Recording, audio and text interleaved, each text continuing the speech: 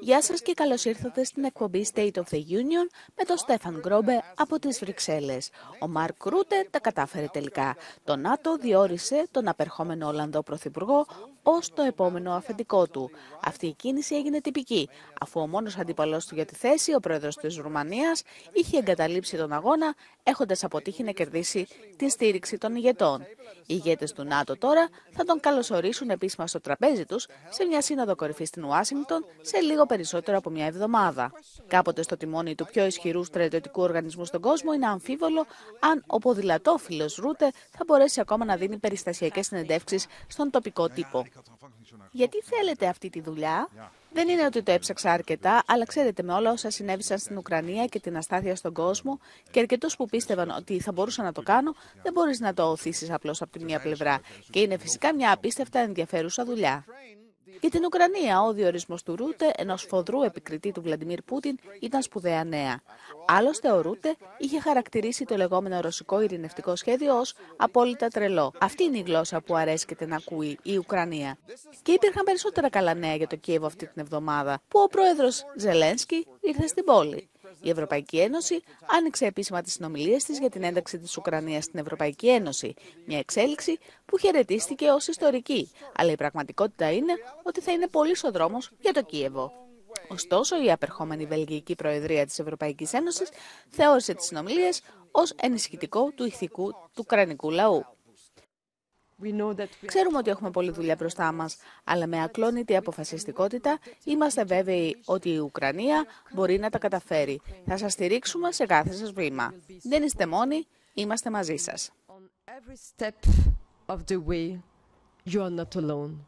Είναι αμφίβολο εάν στην επερχόμενη Ουγγρική Προεδρία της Ευρωπαϊκής Ένωσης θα υπάρξει υποστήριξη στην Ουκρανία. Η Βουδαπέστη μπλοκάρει την υποστήριξη προς την Ουκρανία όποτε μπορεί. Θα αλλάξει αυτό; Μαζί μου τώρα είναι η πολιτικός επιστήμονας στο Καθολικό Πανεπιστήμιο του Λέβεν και επισκέπτη συνεργάτη καθηγήτρια στο Κέντρο Ευρωπαϊκών Σπουδών Μάρτενς. Καλώς ήρθατε στο πρόγραμμα.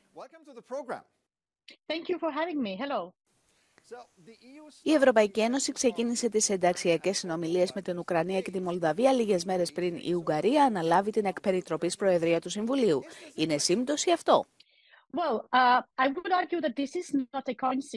Θα υποστήριζα ότι αυτό δεν είναι τυχαίο, γιατί γνωρίζουμε ότι η προτεραιότητα της Ουγγαρίας είναι κυρίως στα Δυτικά Βαλκάνια, στη Σερβία. Επομένως, πιστεύω ότι οι ηγέτες της Ευρωπαϊκής Ένωσης ήταν, ας πούμε, αρκετά επικοδομητικοί και έξυπνοι για να ξεκινήσουν τις ενταξιακές συνομιλίες με τη Μολδαβία και την Ουκρανία πριν από την Ουγγρική Προεδρία. Καθώς η έναρξη των διαπραγματεύσεων είναι μόνο ένα μικρό βήμα σε ένα μακρύ ταξίδι προς την ένταξη, μπορεί η Ουγγαρία να εκτροχιάσει τη διαδικασία. Νομίζω ότι έχεις πολύ δίκιο σε σχέση με τα μακρά βήματα που χρειάζονται και όσον αφορά το ρόλο της Ουγγαρίας, πρέπει φυσικά να δούμε τη συνολική κατάσταση. Επίσης, θα πρέπει να παρατηρήσουμε ποιος θα αναλάβει το χαρτοφυλάκιο της διεύρυνσης. Αλλά θα έλεγα ότι ναι, η Ουγγαρία θα έχει ακόμα ορισμένα εργαλεία για να επηρεάσει τη διαδικασία διεύρυνσης τους επόμενους μήνες.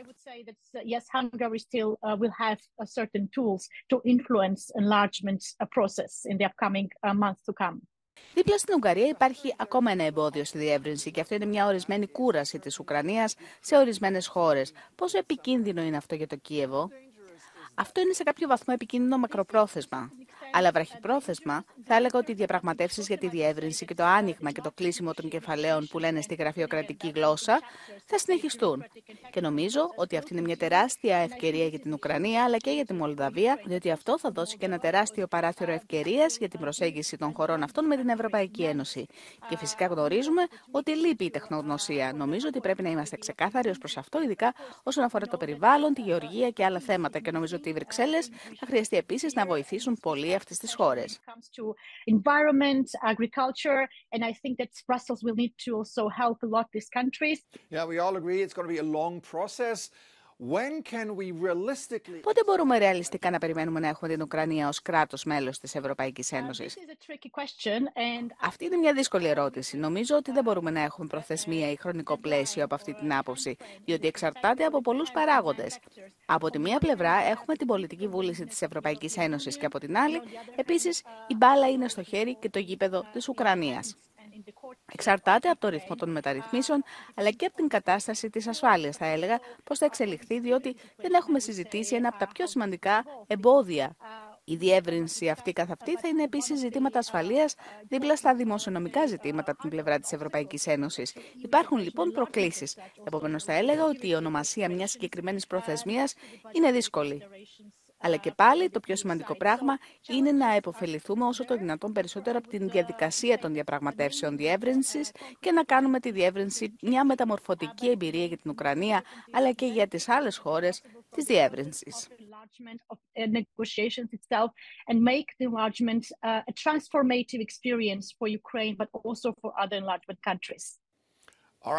Ευχαριστώ πολύ που ήρθατε στην εκπομπή σήμερα. Thank you for having me. Πριν σας αφήσουμε, ας μιλήσουμε για τον ακραίο καιρό που βλέπουμε αυτές τις πρώτες μέρες του καλοκαιριού. Ενώ το νότιο μισό της Ευρώπης συνέχιζε να παλεύει με έναν κατηγιστικό καύσωνα, οι έντονες βροχοπτώσεις και οι χαμηλές θερμοκρασίες ήταν η βασική λειτουργία του καιρού σε μεγάλο μέρος του βορρά. Στην νοτιοανατολική Ελβετία, τεράστιες καταιγίδες και βροχοπτώσεις προκάλεσαν σοβαρές πλημμύρες και κατολίσθηση που σκότωσε αρκετούς ανθρώπους.